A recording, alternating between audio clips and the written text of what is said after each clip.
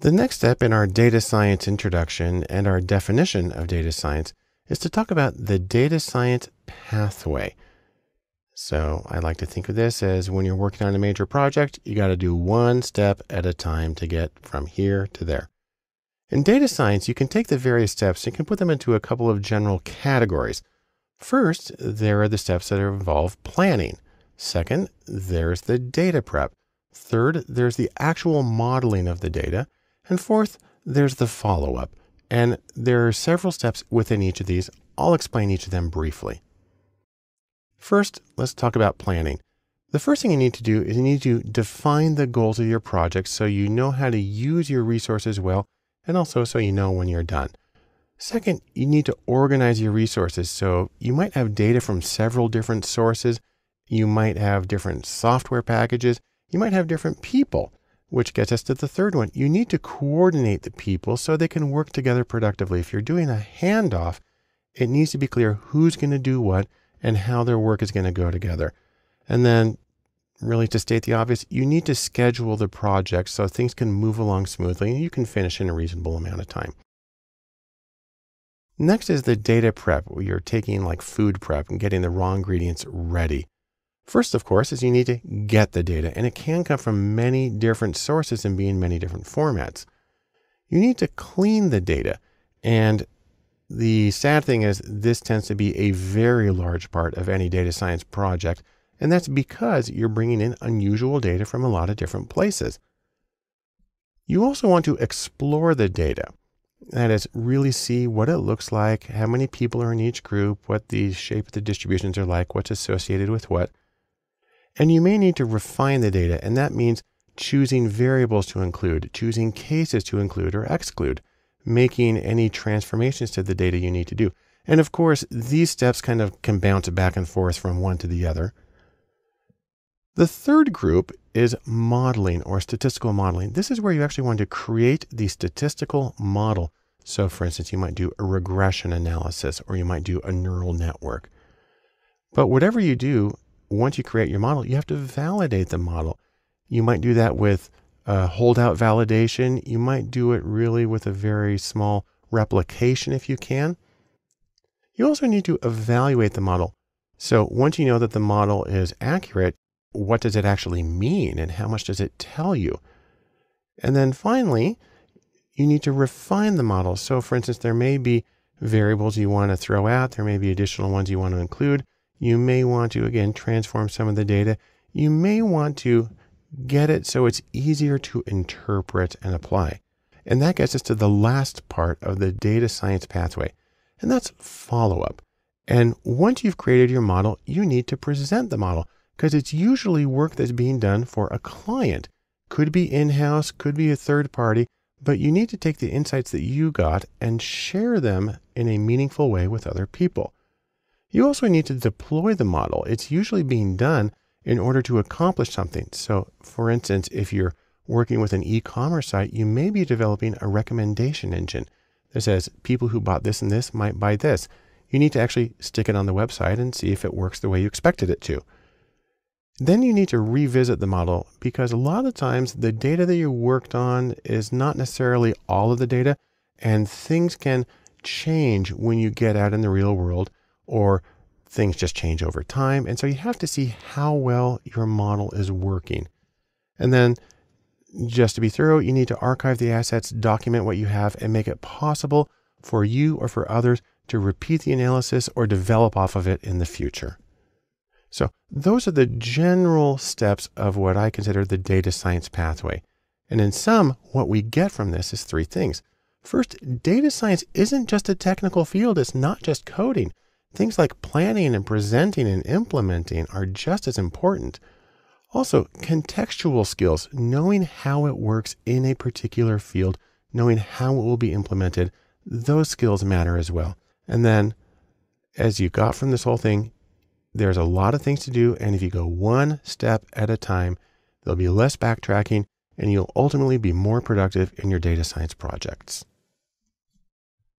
We'll continue our definition of data science by looking at the roles that are involved in data science, the way that different people can contribute to it. That's because it tends to be a collaborative thing, and it's nice to be able to say that we're all together working together towards a single goal. So let's talk about some of the roles involved in data science and how they contribute to the projects.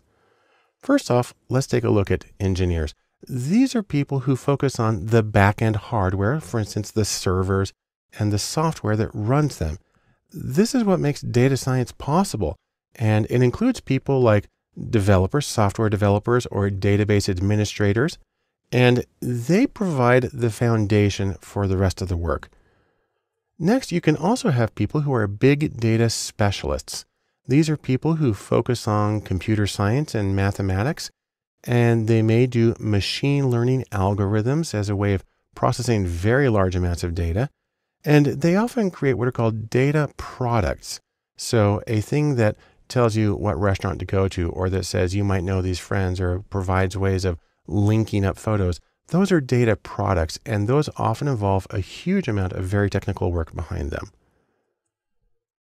There are also researchers. These are people who focus on domain specific research. So, for instance, physics or genetics or whatever. And these people tend to have very strong statistics and they can use some of the procedures and some of the data that comes from the other people, like the big data researchers, but they focus on these specific questions. Also, in the data science realm, you'll find analysts. These are people who focus on the day to day tasks of running a business. So, for instance, they might do web analytics like Google Analytics, or they might pull data from a SQL uh, database. And this information is very important and good for business. And so analysts are key to the day to day functioning of business. But, you know, they may not exactly be data science proper because most of the data they're, they're working with is going to be pretty structured. Nevertheless, they play a critical role in business in general. And then, speaking of business, you have the actual business people, the men and women who organize and run businesses. These people need to be able to frame business relevant questions that can be answered with the data. Also, the business person manages the project and the efforts and the resources of others. And while they may not actually be doing the coding, they must speak data. They must know how the data works, what it can answer, and how to implement it. You can also have entrepreneurs. So you might have, for instance, a data startup. They're starting their own little social network or their own little uh, web search platform. An entrepreneur needs data and business skills, and truthfully, they have to be creative at every step along the way, usually because they're doing it all themselves at a smaller scale. Then we have in data science something known as the full stack unicorn. And this is a person who can do everything at an expert level. And they're called a unicorn because truthfully, they may not actually exist. I'll have more to say about that later. But for right now, we can sum up what we got out of this video by three things. Number one, data science is diverse. There's a lot of different people who go into it and they have different goals for their work and they bring in different skills and different experiences and different approaches. Also, they tend to work in very different contexts. An entrepreneur works in a very different place from a business manager, works in a very different place from an academic researcher, but all of them are connected in some way to data science and make it a richer field. The last thing I want to say in data science and introduction, where I'm trying to define data science, is to talk about teams in data science. The idea here is that data science has many different tools and different people are going to be experts in each one of them. Now, you have, for instance, coding and you have statistics also, you have fields like design or business and management that are involved. And the question, of course, is uh, who can do all of it? Who's able to do all of these things at the level that we need? Well, that's where we get this saying. I've mentioned it before. It's the unicorn. And just like in ancient history, the unicorn is a mythical creature with magical abilities. In data science, it works a little differently. It is a mythical data scientist with universal abilities. The trouble is, as we know from the real world, there's really no unicorns animals, and there's really not many unicorns in data science. Really, there's just people. And so we have to find out how we can do the projects, even though we don't have this one person who can do everything for everybody. So let's take a hypothetical case just for a moment. I'm going to give you some fictional people. Here is my fictional person, Otto, who has strong visualization skills, who has good coding, but has limited analytics or statistical ability. And if we graph his stuff out, his abilities, so here we got five things that we need to have happen. And for the project to work, they all have to happen at at least a level of eight on the zero to 10. If we take his coding ability, well, he's almost there. Statistics, not quite halfway. Graphics, yes, he can do that. And then business, eh, all right. And project, pretty good. So what you can see here is in only one of these five areas is Otto sufficient on his own. On the other hand, let's pair him up with somebody else. Let's take a look at Lucy. And Lucy has strong business training, has good tech skills, but has limited graphics. And so if we get her profile on the same thing that we saw, there's coding, pretty good. Statistics, pretty good. Graphics, not so much. Business, good. And projects, okay. Now, the important thing here is that we can make a team. So let's take our two fictional people, Otto and Lucy, and we can put together their abilities. Now I actually have to change the scale here a little bit to accommodate the both of them, but our criterion still is at eight. We need a level of eight in order to do the project competently. And if we combine them, oh look, coding's now past eight. Statistics is past eight. Graphics is way past. Business, way past. And then the projects, there too. And so when we combine their skills, we are able to get the level that we need for everything. Or to put it another way, we have now created a unicorn by team. And that makes it possible to do the data science project. So in sum, you usually can't do data science on your own. That's a very rare individual. Or more specifically, people need people. And in data science, you have the opportunity to take several people and make collective unicorns so you can get the insight that you need in your project and you can get the things done that you want. In order to get a better understanding of data science, it can be helpful to look at contrasts between data science and other fields. Probably the most informative is with big data because these two terms are actually often confused it makes me think of situations where you have two things that are very similar, but not the same, like we have here in the Piazza San Carlo in Turin, Italy. Part of the problem stems from the fact that data science and big data both have Venn diagrams associated with them. So for instance, Venn number one for data science is something we've seen already. We have three circles, and we have coding, and we have math, and we have some domain expertise that put together get data science. On the other hand, Venn diagram number two is for big data. It also has three circles, and we have the high volume of data, the rapid velocity of data, and the extreme variety of data. Take those three V's together, you get big data. Now, we can also combine these two if we want in a third Venn diagram we call big data and data science. This time it's just two circles with big data on the left and data science on the right. And the intersection there in the middle is big data science, which actually is a real term. But if you want to do a compare and contrast, it kind of helps to look at how you can have one without the other. So let's start by looking at big data without data science. So these are situations where you may have the volume or velocity variety data, but don't need all the tools of data science. So we're just looking at the left side of the equation right now. Now, truthfully, this only works if you have big data without all three V's. Some say you have to have the volume, velocity, and variety for it to count as big data.